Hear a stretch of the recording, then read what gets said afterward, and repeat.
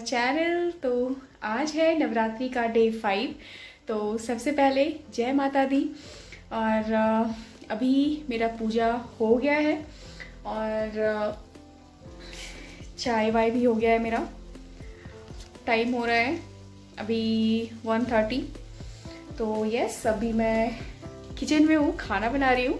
पति देव के लिए ऐसे तो बेचारे बना लेते हैं। लेकिन आज कुछ ज़्यादा ही बिज़ी हैं तो आज मैं बना रही हूँ उनके लिए खाना। नवरात्रि या फिर कोई भी फास्ट होता है तो वो खुद से ट्राई करते हैं कि वो बना लें।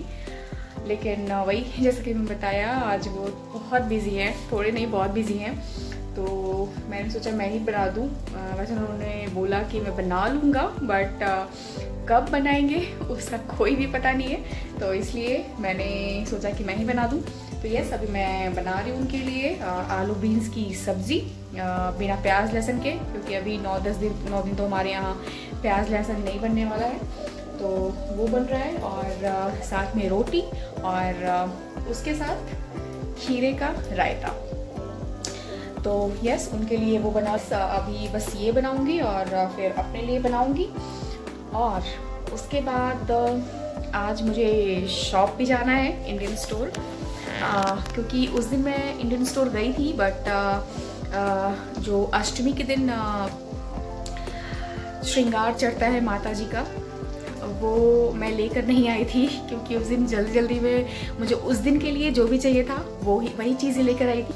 और हम्म, अभी मुझे मतलब ऐसा नहीं लग रहा है कि मैंने फास्टिंग किया हुआ है। मतलब पहले मेरी दी फास्ट जब रखती थी तो मैं सोचती थी, अरे यार, नौ दिन कैसे कोई फास्ट रख सकता है बिना नमक के?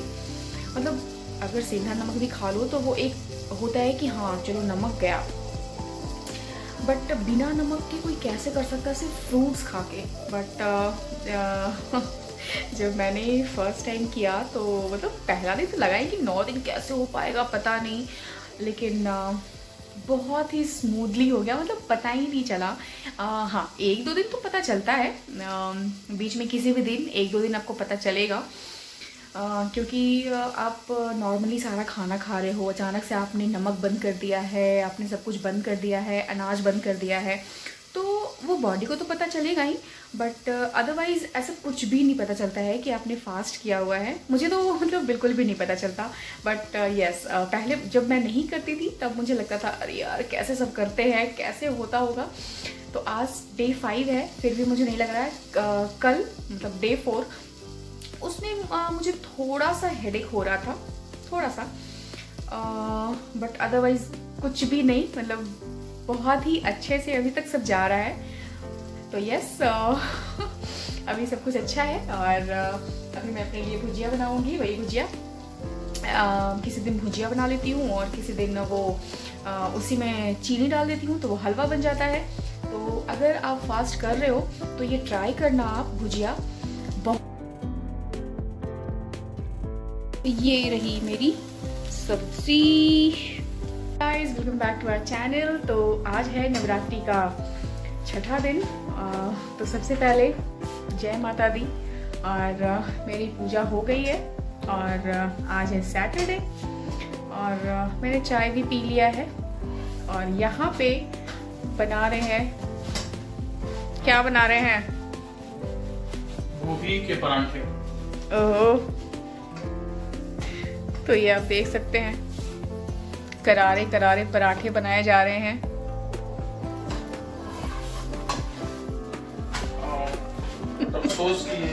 मेरे लिए हाँ। मेरे लिए तो आप कभी बनाएँगे नहीं है। पराठा तो कभी नहीं खिलाया हमको। तो ये पहला लेकिन कितना अच्छा बना है देखो। मतलब पहला बार बना है ऐसा लग नहीं रहा है। पहला बार सही बना है। हाँ इधर।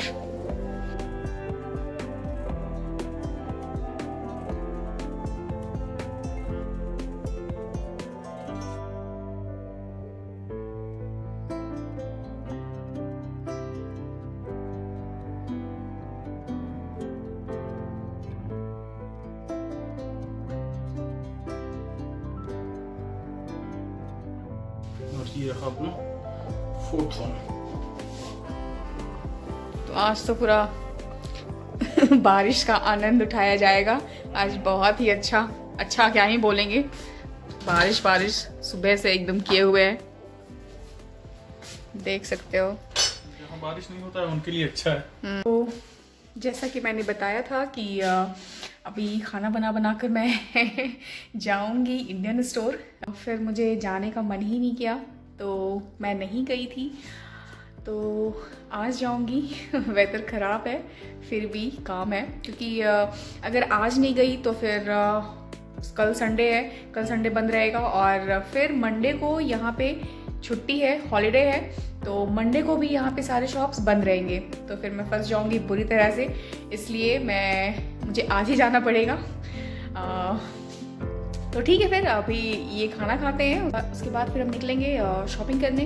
तो और यहाँ पे अपना खाना खाते हुए तो बताइए कैसा लग रहा है? गोभी पराठा आपका बनाया हुआ।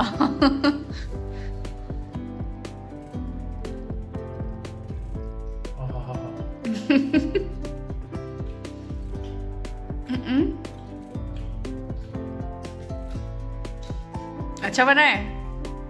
गया तो फिर हमको बना के कब खिला रही है आज ही खिला सकते हैं। हाँ, आज नहीं। किसी दिन बनेगा मेरे लिए ये? ठीक है तो डन रहा ये। और यहाँ पे है मेरा प्रसाद जो भगवान को चढ़ाया था माता जी को चढ़ाया था। वो मैं खाऊँगी और यहाँ पे मिस्टर कुमार खा रहे हैं, गोभी के पराठे और दही साथ में। हम्म। खुश हो रहे हैं, देखो। तो हम निकल चुके हैं और अभी हम स्टेशन पे हैं। चलिए फिर, आपको दिखाते हैं आगे।